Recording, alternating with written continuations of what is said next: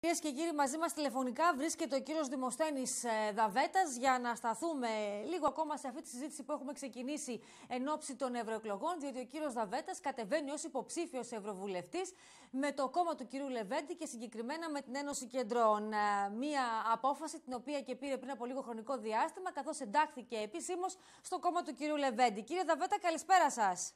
Καλησπέρα σας, τι κάνετε; Σας ευχαριστώ θερμά που σήμερα είσαστε κοντά μας και αρχικά πριν πούμε οτιδήποτε άλλο ε, για το πώς πρέπει να πάμε να ψηφίσουμε σε αυτές, ε, στις, ε, σε αυτές τις ευρωεκλογές, ένα πρώτο ερώτημα το οποίο έχει να κάνει με την μεταγραφή σας. Έτσι, εμείς σας είχαμε συνηθίσει όλα τα χρόνια στη Νέα Δημοκρατία, ωστόσο το τελευταίο χρονικό διάστημα έχετε ενταχθεί στους κόλπους της Ένωσης Κεντρών, κύριε Δαβέτα. Γιατί... Ναι.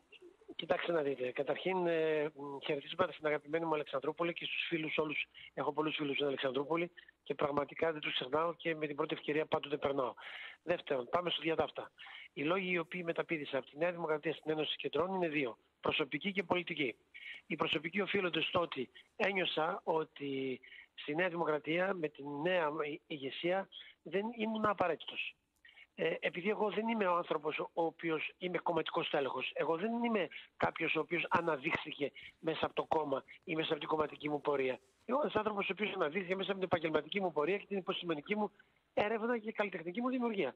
Στη Νέα Δημοκρατία βρέθηκα διότι πιστεύω στις ιδέες της κεντροδεξιάς και πιστεύω πάρα πολύ στις ιδέες και τη συνεργασία με τον Αντώνη του Σαμαρά. Όχι ότι αρνιέμαι τον κύριο Μητσοτάκη, για να ξεκαθαριστώ. Εκτιμώ ότι ο κύριος Μητσοτάκης έχει πάρα πολλές ικανότητες να επιτύχει. Ε, ο χρόνος θα το δείξει. Όμως, γύρω από αυτόν υπάρχουν στελέχη τα οποία έχουν μια νοοτροπία, αν θέλετε, τραπεζικού υπαλλήλου. Όχι ότι είναι κακή αυτή η νοοτροπία, αλλά με μια νοοτροπία τραπεζικού υπαλλήλου σφίχνει πάρα πολύ το σύστημα και δεν επιτρέπεις να υπάρξουν νέες ιδέες. Λοιπόν, σε αυτή την περίπτωση, εγώ έκανα ότι δεν με δεσμεύει τίποτα, διότι σα όπως σας είπα και πριν, δεν είμαι κομματικά δεσμευμένος. Συνεπώς, έπρεπε να αποχωρήσω για να μπορέσω κάπου να εφαρμόσω τις ιδέες μου.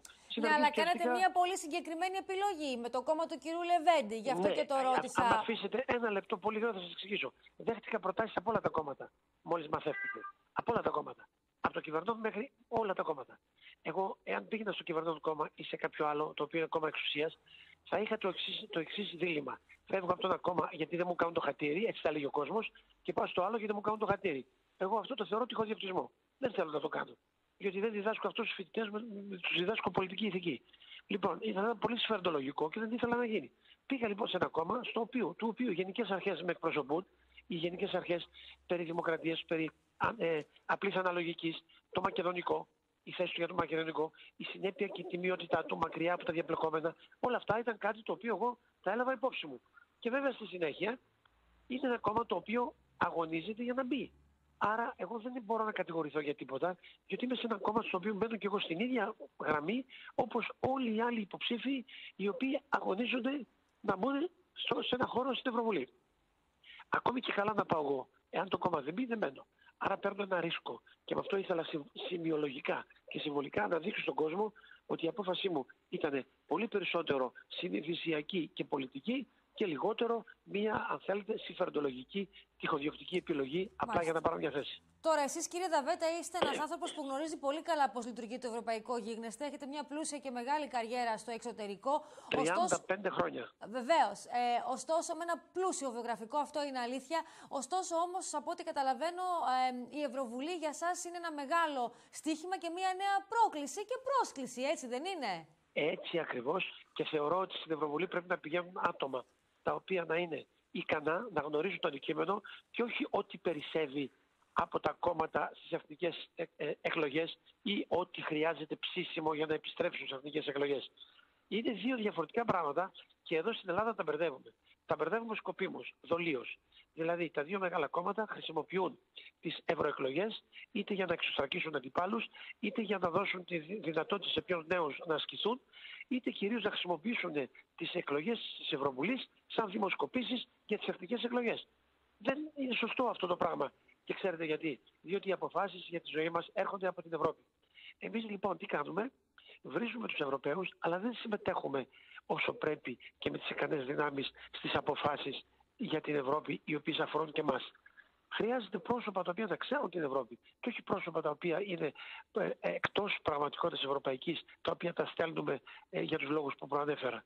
Συνεπώς θεωρώ ότι εγώ είμαι ένας κατάλληλος υποψήφιος ακριβώς για αυτούς τους λόγους. Το ότι ξέρω την Ευρώπη, έχω διάθεση, όλη μου η αρθογραφία και η μελέτη στι εφημερίδε, μην ξεχνάτε 10 χρόνια στη Λιμπερασιόν, στη Φιγκαρό, στη Λεζεκό και τώρα μια εξαετία τακτική κάθε πέμπτη στον ελεύθερο τύπο, αν δείτε την αρθογραφία μου, κατά τα δύο τρίτα αφορά και αναλύει την Ευρώπη.